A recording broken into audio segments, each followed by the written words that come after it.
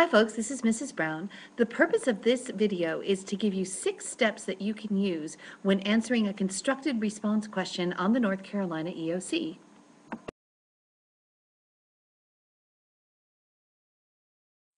The first thing that you want to do is to read the passage carefully. I know this may seem kind of obvious, but sometimes these tests are more about stamina, that is your ability to really keep going and to work hard and focus over a longer period of time, rather than the fact that you could do it just once. So it's really important that you not just read the passage, but that you reread the passage at least once.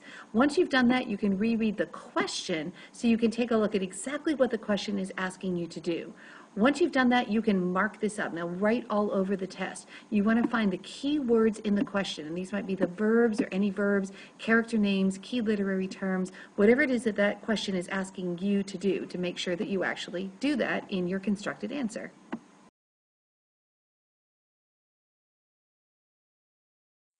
Now, step two is to take that question and kind of rewrite it in your own words. And this is one way to make sure that you know exactly what it is that you're being asked to do. And then if you take that question, you can turn it directly into the topic sentence for your answer. That's one way to make sure that you are indeed addressing the question when you put your answer together.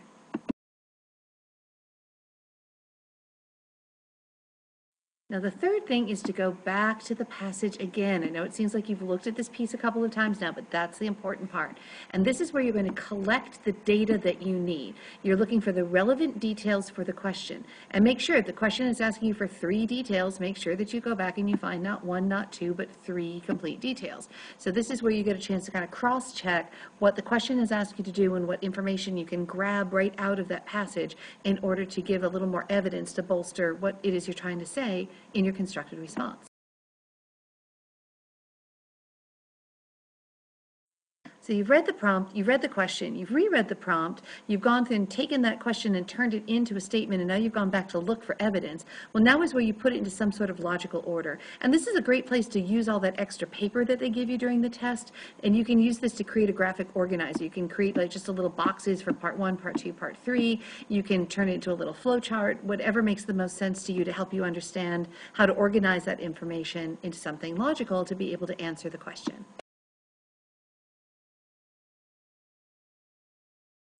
The fifth thing you're going to do is to write your answer down and to write it neatly. Now you don't have to agonize over this and you know you're not really judged on your handwriting, but it has been shown that if your writing is easier to read, it makes it easier for the person who's evaluating it to find the answers. So you do want to, I mean, don't take your time on this too much, but you do want to write as neatly as you can and get your answers down in one place.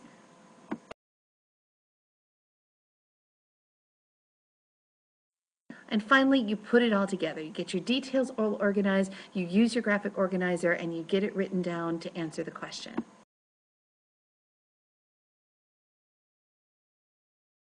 So what might that look like? Well, there's lots of different graphic organizers you can use, and your teacher might give you some sample for this. For example, you start up here with what it is that the question is answering, and then you look for your evidence, and then show how you've answered the question. But really, anything that makes sense for you is fine to use.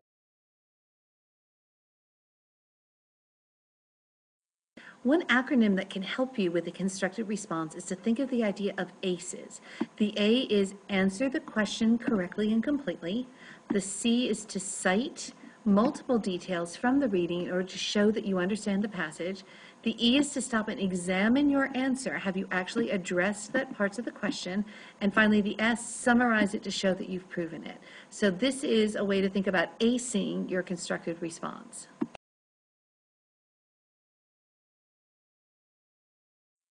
Now let's think about the constructed response from the other side, from the teacher or the administrator or the evaluator who's going to sit down someplace in a room and read all of these from these students that they've never met. So they're looking for some very specific things and they have a rubric put in place to help them find those things in your answer. So for example, if you had a prompt, and I know you didn't read this story, but you can just kind of imagine along with me here, and if your constructed your constructed response question said, what effect is caused by the narrator's discussion with the chemist at the end of the selection? Include one example from the text to support your answer. Well, let's suppose that's what you had to answer. So you're going to write a response to that prompt, and then sitting in a room someplace is going to be an adult you've never met, and they have a choice of giving you anything between a zero and a two. So you're going to either score a zero, a one, or a two. Now, to get those full two points on that, look at this wording really carefully. Clearly and coherently, coherently means in a logical way, identifies the effect that is created by the narrator's discussion with the chemist at the end of the selection, supports the answer with one relevant example from the text. Now, to get a score of one, you might not get full credit if you fulfill only one of the two requirements at level two. So notice there's two requirements. The first is to identify the effect, and the second is to support it with an example. If you only do one of those two things, you get one point. Or you might end up with a score of zero, and that's if you just decide, eh, I'm tired, I'm done with this whole thing, I don't want to bother anymore, and you don't put down any response at all. Or if your response really does not address the prompt, you seem to be writing about a completely different story, about a dream you had last night, or you just write down something like, I like cheese, you know, something that has nothing to do with the actual question. And that obviously is not going to earn you any points on that. You don't want to be there.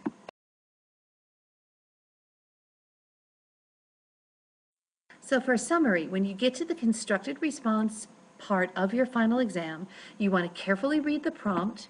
You want to make sure you're using evidence directly from that text. It's right there in front of you. Go back and get that evidence. Use the language of literature. If you know words like irony, don't just say, well, that was kind of a weird coincidence. Say that was ironic. Use that kind of language. And then check again, did you actually answer the prompt? And you can remember the ACEs. Answer the prompt correctly, cite your evidence, examine that you've actually answered the question, and summarize your response. And hopefully that's going to get all of you lots and lots of twos on your constructed responses.